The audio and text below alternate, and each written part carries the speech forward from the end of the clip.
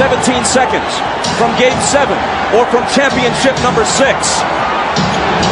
Jordan, open.